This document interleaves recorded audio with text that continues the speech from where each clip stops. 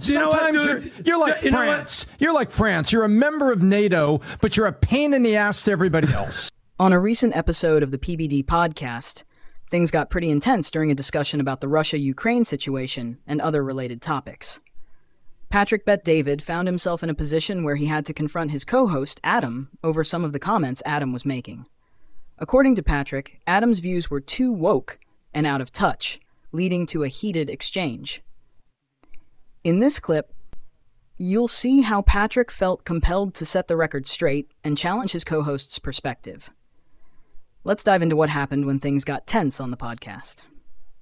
Putin worth two hundred billion my boy. dollars. That's my boy. That's your guy. I my know guy. it. Um, It's my guy. unless we hold him to account, he'll keep stealing and he'll keep thieving in this kleptomaniac autocracy that's called Russia. Keep in mind one thing: the president of Russia. pulled this up, Rob. Pull up salary. The president of Russia makes about one hundred and thirty-five thousand dollars a year. In America, it's four hundred thousand. You know, right? It was right there. $120,000 per annum, not in rubles. How is someone that makes that amount of money worth So- two hundred So, billion? I love that you're bringing this up. So this leads me to one thing. If this is what you really believe about that people who do this, then in 2024 on November 5th you're only voting for one person. Because that one person is not using the government's money to run. That one person used his own money to run. RFK, you're talking about? Not RFK. That that guy's using you Nikki? know- no, it's only Oh, one guy. Trump. You know who he is. Got. So, meanwhile, if you want to find that net worths before and after, Rob, if you want to pull up, you know, Obama's, um, I don't know, Clinton's and Biden's net worth before and Bernie after. or Pelosi. if you can do this, this will be a great exercise for Adam because I like where Adam's going with. Any of them you know, are if- if- billionaires, I'd be shocked. Well, if you but can- 200 billion, richest man in the yeah, if you- world. that's the one right level. there. So zoom in, zoom in, that one right there. So that's pretty interesting. So uh, Trump's net worth before running four and a half billion. Now it's two billion. Obama's three million. Now forty million. Clinton's five hundred thousand. Now one hundred million. And then you got Biden's is on that list as well. So, you know, you're kind of interesting the angle and direction you're taking. I didn't think you were going to be this bold this morning with this story, specifically the fact that it impacts America. And the difference between us and them is you're right. In a communistic nation, you can steal more and get away with it because there is less regulation. In a country like ours, that there's more regulation, you have to be more deceptive and conniving and more slick to be able to steal money. And you got to give respect if you're if you're saying your your value in the fact that you don't like people going into politics and then all of a sudden becoming rich and having houses in Hawaii and you know paddleboarding, you take a day off, you don't take a day off, and you know uh, uh, stuff like that. Yeah, I mean that's a that's a very very good political point you just made right there, Mr. You, Adams. you bring up a great point, Yeah. and I, I, I, as someone that minored and uh, double majored in sarcasm, I see what you're doing. I respect you. Uh, there's a big difference between, and not that I'm advocating. There's a big difference between 40 million, 100 million, and 200 billion dollars. So when you In this discussion, the real issue isn't the amount of money being talked about, but rather the principle of how it's being handled. Patrick Bet David is right about this, but I think he's even more right than he or anyone on the PBD podcast realizes. In Russia, things operate by a completely different set of rules. Over the past few years, especially since 2020, we've started to realize just how much we're being misled. It's not just that Russia and Putin play by different rules than the US, but we're also being fed propaganda here in America that likely paints a worse picture of Russia and Putin than might be accurate. When people like Tucker Carlson visit Russia and interview Putin, they often face backlash. Why? Because it offers a glimpse into life in Russia and a perspective on Putin that isn't filtered through American media or government narratives. Patrick is right in saying that Russia operates differently, but the bigger point is that we, in America, are also victims of propaganda. For years, we looked down on other countries, assuming their people were misled by their governments, only to realize recently that we too are influenced by our own government's messaging. The wake up call came around 2020 when it became more obvious just how much misinformation we've been fed, making us question the narrative we've been given about Russia and other nations. Here's the real difference, homeboy. The difference is That's a guesstimated. The difference here is this is audited. so do you, can do you question this guesstimation? I, I, I, I, I of From course Fox I question. Business? Question of course I question the guesstimation. Will I say he's worth a couple billion dollars? Yes. Would I say he has used the power that he has to take money away XYZ? Yes. But you know what else that does? If you're going to go there, no problem. Would I say no one's increased their net worth more because this person's learned his habits from uh, Putin?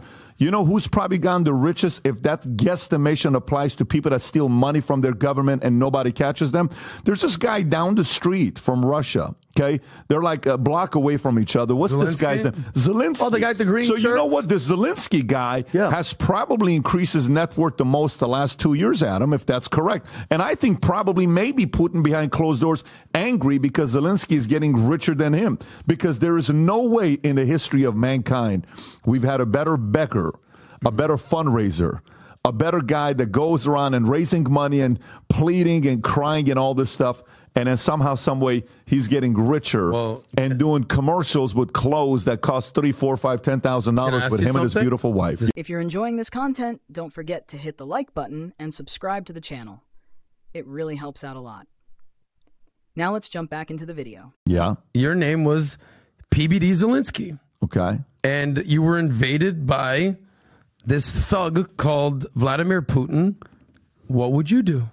What do you mean? Would you not go beg, plead, borrow money? Would you not appeal to NATO and your European allies? Would you not try to go and basically market yourself to the I- world I- as "Help me out You- here. I've been just- invaded." You just, you just, what would you do? You just changed the story. I don't know. I'm asking you a question. No, no, you're changing the story. Okay. What I'm saying to you is, one could make the argument for Zelensky also being one of the richest people in the world who's stealing money, and that's speculation. What Fox is also doing is they're speculating. By the way, a speculation that the world probably believes in. No one's questioning that.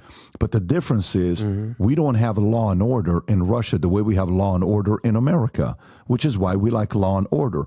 But for you to believe that if the law and order and the ability and the control was available to the Clintons and Obamas and others to create that kind of wealth, they're probably going to sleep at night envious that they can't steal that kind of money I- and uh, use their politics to make a lot of money. With all due respect, themselves. my CEO, my friend Patrick David, this has nothing to do with the Clintons and Obamas, and we can talk about But it that. does, You sort of ch- No, no, it does, And though. I believe they should be held to account. but they're not going They're to. never gonna They're not do going that. to. But, okay, okay, can we? oh, So everyone wants to. Tom wants to be all pissy pants over here because I'm talking about Vladimir Putin. Tom's been quiet we can for a while. uh, Good. That's why we're doing well today.